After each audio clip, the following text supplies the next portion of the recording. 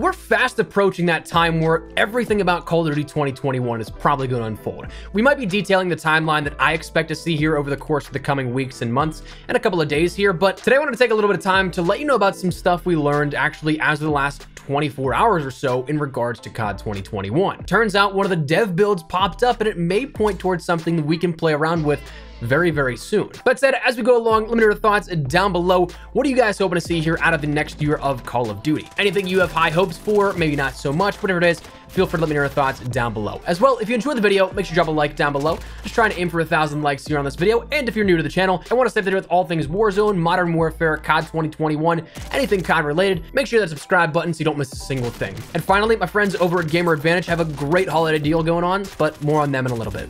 Let's jump into that discussion about COD 2021 though. So we've known a few things officially. Sledgehammer is making Call of Duty 2021 and it's on track to release later this year, but that's about it. Unofficially, though, we've heard a lot in regards to the game, like the developmental turmoils that it's experiencing, the setting likely being World War II, and possibly dealing with the Pacific theater as opposed to the European theater of Sledgehammer's last outing, that the traditional or base premium game will be like a Black Ops Cold War Part 2 in many regards to content, co-op, and other things, but we've also heard that it's going to be on the Modern Warfare 2019 engine, and that we'll have Warzone integration with a new map coming at launch as opposed to later in the year of content and so on and so forth. But what's new that we've heard in the last 24 to 36 hours? Well, yesterday, leaker Tom Henderson, among other many outlets, reported a new addition to the BNet databases. BNet, for those unaware, being Battle.net, which is Activision Blizzard's first party client, where all their games are placed for sale and play, but their back-end database is updated with an interesting addition here a one Call of Duty slipstream. Normally, when things of this nature are added into databases or anything like that, it's always under a full-on code name. You may remember even as early as of last year, the Black Ops Cold War was listed as the Red Door, actually almost a year ago to the time frame right now. This was under Sony and Microsoft databases, and this is common practice. The Red Door was last year, one that made huge waves that a lot of people did not really recall was that of Northwoods back in 2016, which was the closed alpha for Black Ops 3 that was discovered later on sometime down the line after Zombies Chronicles was actually released that it was an unintended connection that was made on the public related content. But these things are there to go completely unnoticed to the masses, and that's exactly what they're designed to do. If you look back, most do directly correlate in some manner to the content at hand. I mean, the Red Door was a huge piece of the puzzle in Black Ops Cold War, so fitting that it was codenamed for the alpha last year, and Northwoods was Black Ops 3 that played directly into the Frozen Forest mantra. They're alphas that are meant to test and build the games, but are meant to also be out of sight and out of mind, so that if some curious person like you or I ever decide to cruise through a public database of all these files, we'd end up seeing nothing really out of the ordinary than a game that we didn't recognize the title of. Maybe it was a small indie title or something like that, that we'd probably pass it off as. But what's interesting is that this slipstream is quite literally denoted as Call of Duty.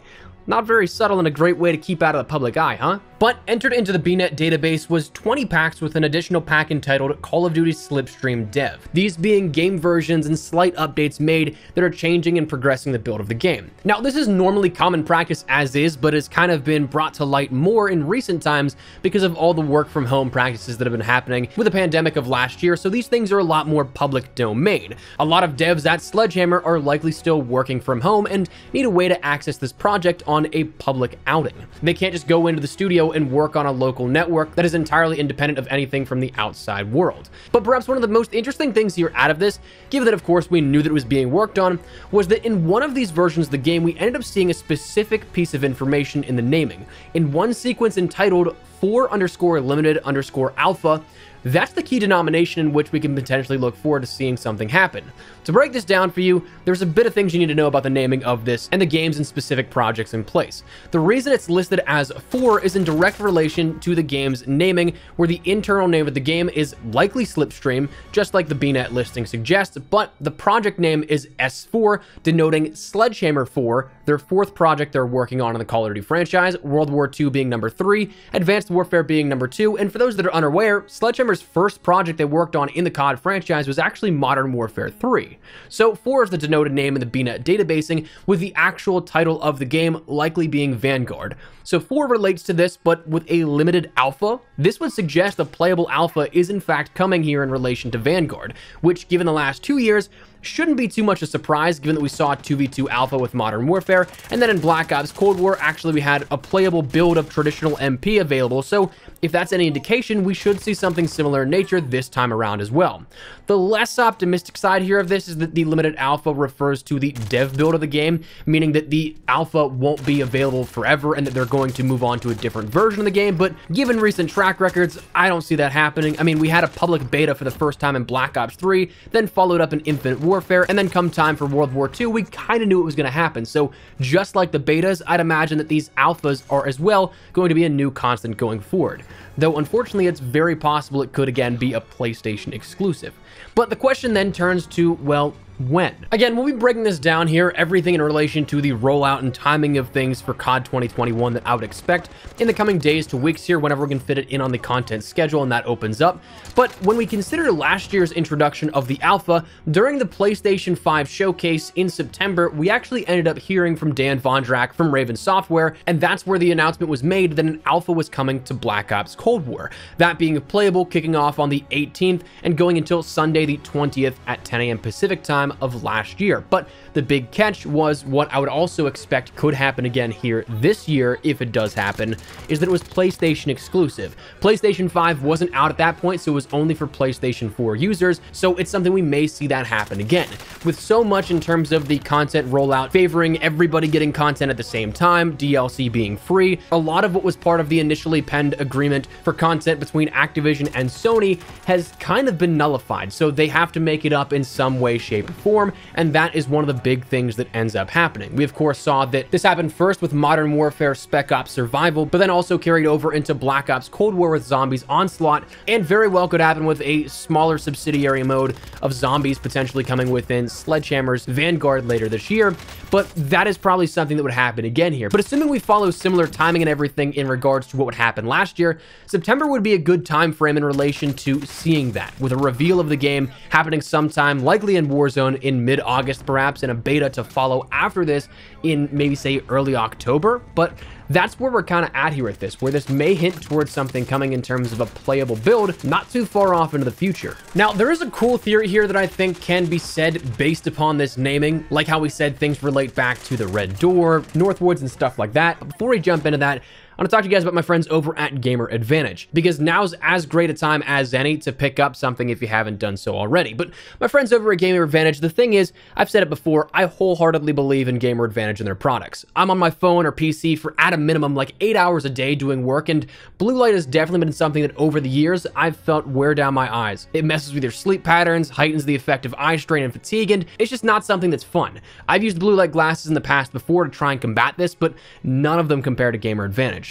The frames are comfortable, durable, prescription compatible, and the best part is their true color tech in the lenses, meaning that unlike every other blue light glasses company out there on the market, they don't use this ugly yellow hue and tint that just is used to cancel out the blue light. Instead, it's a clear lens that what you see before you put the glasses on is exactly what you see when you put them on. That to me is phenomenal. They've helped my workflow out a ton. Plus, if you want to go a step further, their eye candy multivitamin specifically designed to improve vision health is available and amazing as well. Now I say now is as best a time as any because now starting as of tomorrow, July 1st until the 5th, their elite bundles are $17.76 off of any frame and my partner code of espresso can actually stack on that, making it roughly a 30% off discount here. And that elite bundle actually gives you more than what you get with the base purchase of just the glasses themselves, so you get more for less. If you're interested in learning more or picking something up, head on over to the link in the description below and remember to use code espresso. But that said, when we talk about this internal dev name of Slipstream, one thing to remember is that again, a lot of this stuff does end up connecting back to the storyline. The Red Door was a key focal point for Black Ops Cold War, and the woods of Northwoods was a key focal point of that frozen forest in Black Ops 3. So Slipstream very well could be something that ties in directly to Vanguard and what we see in terms of content. Now, the actual true definition of a slipstream isn't anything too fantastic, but as many have pointed out in the community, there was actually a radio show back in 2008 that was focused on the British commandos going into Germany during an alternate reality Second World War that focused on the Reich having all this extraterrestrial and crazy tech that has some historical accuracy to it, where they were fascinated by this kind of tech and trying to achieve it, but in this story, potentially, they could actually have it. So maybe that follows that route here with Vanguard, where we do actually go to a sort of alternate history thing where it focuses more so on what kind of content, like if you'd remember the last season of World War II, where the Nazi bell was actually a key focal point of one of the war maps. You had super soldier serums as well included in that. So it could be something like this where it plays out of the ordinary. It's not just a regular World War II story, but that is still, of course, just all speculation and yet to be seen. But that's where we're at here at this, and Slipstream has been found and may provide some insight into what we see here in the very near future. So that's we're going to wrap it up. I'd love to get your thoughts and feedback down there in the comment section down below. What do you guys think of this year? Are you guys looking forward to this? Do you think there's anything that we can derive from this that maybe we missed? Whatever it is, feel free to let me know your thoughts down below. But hopefully you enjoyed the video. If you did, make sure you drop a like down below. And of course, if you are new to the channel, make sure you guys subscribe so can single thing getting all things Warzone, Modern Warfare, COD 2021, anything COD related. We'll keep you up to date with all of it. So if you guys are interested, hit that subscribe button. If you also want to follow me over on Twitter and Instagram, there's the best places to get camera outside of YouTube. Practically on both those. So if you guys want to strike up a conversation, ask me a question, whatever it may be, that link is down there in the description below. That said, thanks so much for watching. Modest Espresso. I'll see you guys later. Take care and peace.